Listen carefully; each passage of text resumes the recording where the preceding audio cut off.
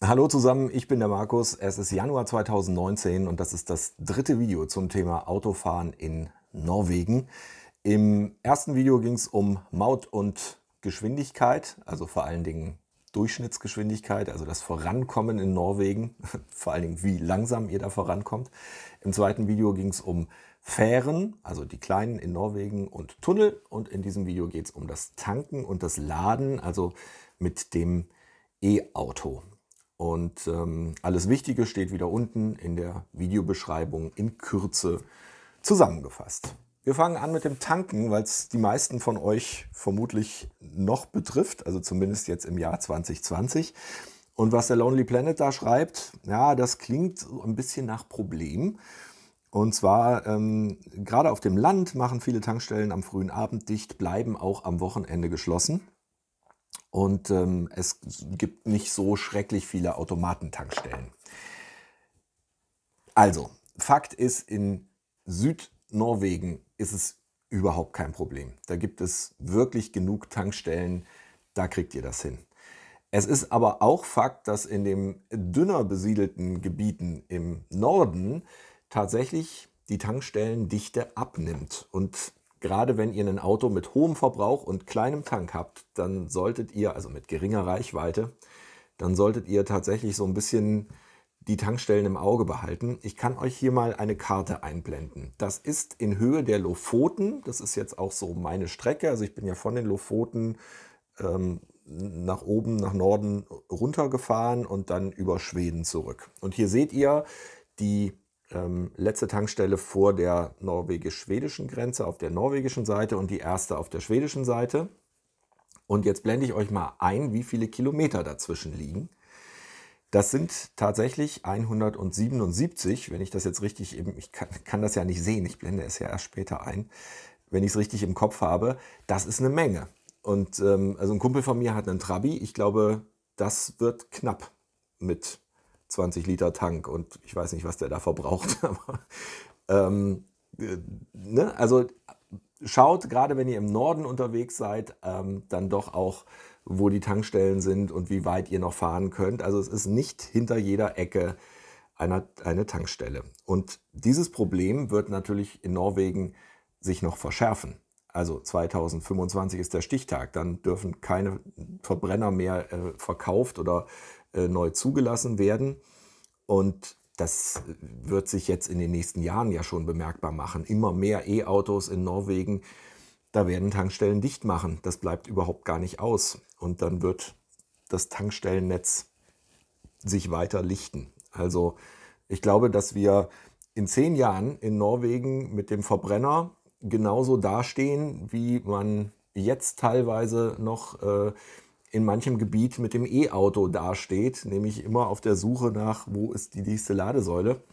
Äh, das wird sich umkehren. Das ist ähm, ganz klar. Also im Süden kein Problem mit der Tankstellendichte, im Norden ähm, etwas äh, größer das Problem.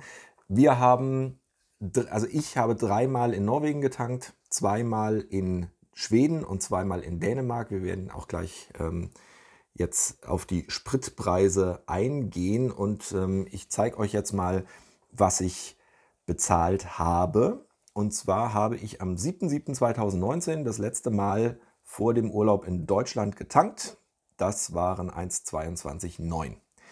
Dann habe ich in Dänemark noch einmal voll getankt. Das würde ich euch auch dringend empfehlen. Und für alle die, die glauben, Dänemark ist ein teures Tankland, das stimmt nicht. Also meine Erfahrungen in den letzten Jahren waren eigentlich immer so, dass Dänemark so ein bisschen teurer ist.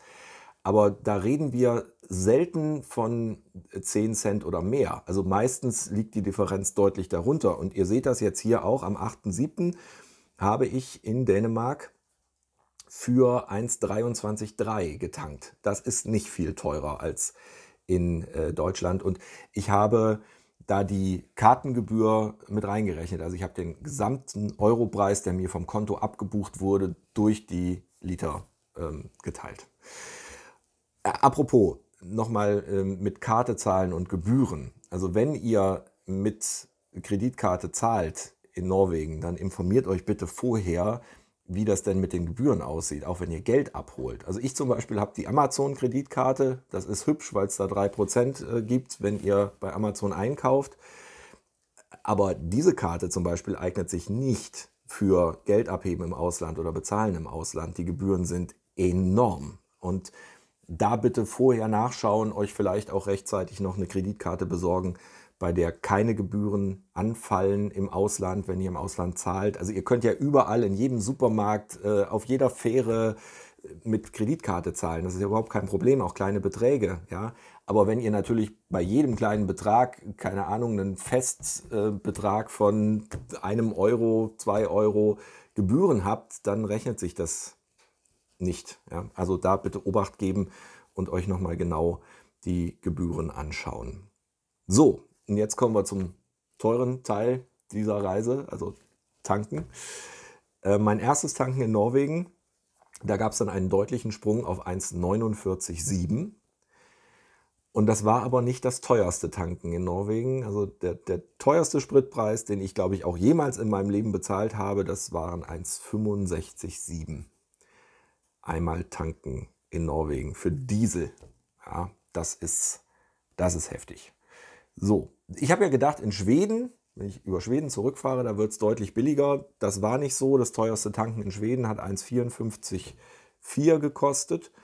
Und ähm, jetzt der Vollständigkeit halber noch, es könnte ja sein, dass es also in der Zeit enorm angestiegen ist.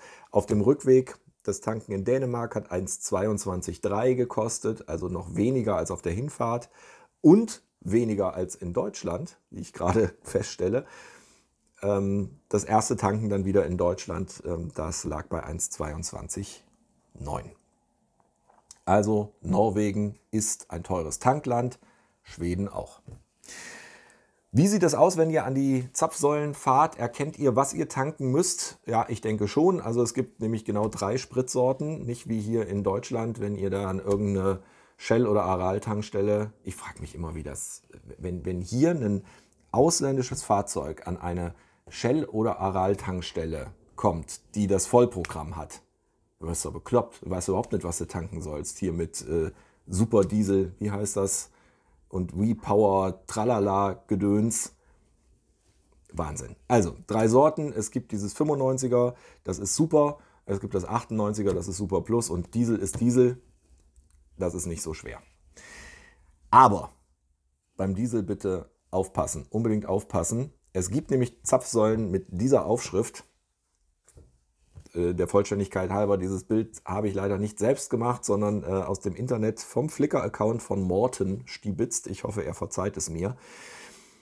Ähm, da steht äh, Afgiftsfree Diesel. Und dieser Diesel ist steuerlich begünstigt und auch, ich glaube, rot eingefärbt. Ja, rot eingefärbt. Das ist für Landmaschinen, soweit ich weiß, und für Boote, also für die, die eben steuerlich begünstigten Diesel tanken dürfen. Und ihr dürft es nicht. Und ihr solltet das auch nicht tun. Das kann richtig, richtig teuer werden. Ähm, auch wenn ihr denkt, ach, der Diesel ist aber schön billig. Ja, ja, das ist er. Aber am Ende kann die Rechnung dann ähm, deutlich, deutlich teurer sein, als wenn ihr den anderen Diesel getankt hättet. Also ihr habt ja in dem Fall ein Steuerverbrechen begangen. Und ähm, also da gibt es ja so wilde Artikel von 20.000 Euro Strafe und so. Ich weiß nicht, ich habe jetzt nicht nachgeschaut, was denn da tatsächlich realistisch ist. Äh, tut es einfach nicht und dann wird alles gut. Gut, ich glaube zum Thema Tankstellen ist alles gesagt. Dann schauen wir uns jetzt mal das Laden an. Wie gesagt, noch habe ich kein Elektroauto. Ich hoffe, dass ich im Laufe dieses Jahres das Video nachschieben kann, ähm, indem ich äh, selbst Erfahrungen sammle. Und ähm, ja, also ich habe äh, drei Probefahrten jetzt ähm, äh, online ähm, angefragt für den Nissan Leaf, für den Hyundai Kona und Tesla Model 3. Tesla hat ähm, mich erst überrascht, weil sie sehr schnell geantwortet haben. Dann überrascht, weil ich sehr weit im Voraus einen Probefahrttermin festmachen konnte. und dann enttäuscht, weil sie diese Probefahrt einfach abgesagt haben. Ich hab, hatte auch schon Bahntickets und so. Und das fand ich jetzt ehrlich gesagt nicht so toll. Also sie hatten wohl alle Model 3 verkauft und deswegen kein Probefahrauto da. Als Entschädigung, also mich hat dann irgendwie der Leiter der Frankfurter, des Frankfurter Sales Teams oder so angerufen und ähm, jetzt kriege ich den Tesla, Termin steht noch nicht fest, ähm, ein ganzes Wochenende und kann ihn dann sehr ausgiebig ausprobieren. Da freue ich mich schon sehr drauf. So, ich habe jetzt hier ein paar Zahlen gefunden auf der Seite vom norwegischen Verkehrsministerium. Äh, überraschend, im Jahr 2019, eigentlich nicht so überraschend, war das Model 3 tatsächlich das meistverkaufte Auto in Norwegen. Obacht, das meistverkaufte Auto, nicht das meistverkaufte Elektroauto. Also tatsächlich das meistverkaufte Auto. 2018 war das noch der Nissan Leaf. So, ab 2025 ähm, dürfen keine Verbrenner mehr verkauft werden, auch keine Linienbusse mehr. Auch Linienbusse müssen dann elektrisch sein. Und der nächste Schritt ist dann 2030. Da geht es dann äh, an den Schwerlastverkehr und die Fernbusse. Genau, und deswegen auch, wie schon gesagt, das Tankstellennetz wird in den nächsten Jahren sehr, sehr wahrscheinlich sehr viel dünner werden in Norwegen. Schauen wir mal an, wie viele Ladesäulen es denn gibt. Also auch das norwegische Verkehrsministerium verweist auf diese Seite hier info.nobil.no. Ich verlinke euch das auch mal oben. Und ähm, hier haben wir jetzt mal Ladesäulen in Norwegen, Stand 4.1.2020. Das ist genau aufgeschlüsselt, seht ihr ja da, öffentlich, nicht öffentlich. Da gibt es auch Zahlen für Schweden auf dieser Seite. Also in Norwegen 13.800 öffentliche Ladesäulen, in Schweden 9.100. Die haben noch ein bisschen nachzuholen. Ähm, und äh, auf dieser Seite gibt es auch eine Karte. Ähm, das ist, ich glaube, nicht so wirklich für den Endbenutzer gemacht. Also ich, ich glaube, diese Seite ist einfach die Datenbasis äh, und stellt die Daten bereit für Apps und für Webentwickler und so damit die darauf zugreifen können. Aber es gibt auf der Seite auch eine Karte zum Anschauen. Ähm, das ist hier mal die Südhälfte von Norwegen. Da dürfte es keine Probleme geben mit dem Laden von Elektroautos.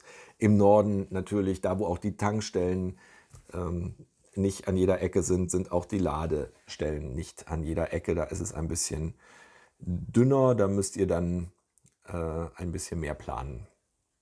Genau. Und wenn ihr dann so einen roten Punkt auf der Karte anklickt, dann seht ihr dann auch, geht so ein kleines Fensterchen auf, da seht ihr dann auch die Details, also was für ein Ladestecker da äh, vorhanden ist. Genau.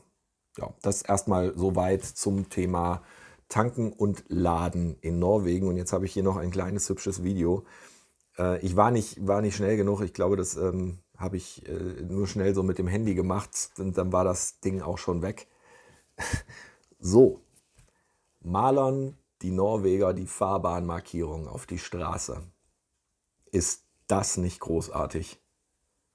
Da steht keiner und baut Hütchen auf. Also wenn ich hier in Deutschland sehe, wie Fahrbahnmarkierungen gemacht werden, da kommt erst der Oberchef in äh, Jacke und Frack und misst und malt vorab äh, dünne Striche dahin, wo die dicken Striche mal hin sollen und dann äh, es sieht oft so aus, als wäre ein Team von fünf Leuten notwendig, um einen Strich auf die Straße zu malen. Die fahren hier einfach mit diesem LKW. Das ist der Wahnsinn. Ich finde es sehr, sehr geil. So, dieses Video ein bisschen kürzer als die letzten Videos. Ähm, das kommt manchen gerade recht. Ich wünsche euch eine schöne Zeit. Plant tolle Urlaube, macht schöne Urlaube, auch im Winter übrigens. Der Pelle, mit dem ich in Norwegen war, der war jetzt ähm, ein paar Tage zwischen den Jahren unterwegs in der Kälte mit Dachzelt.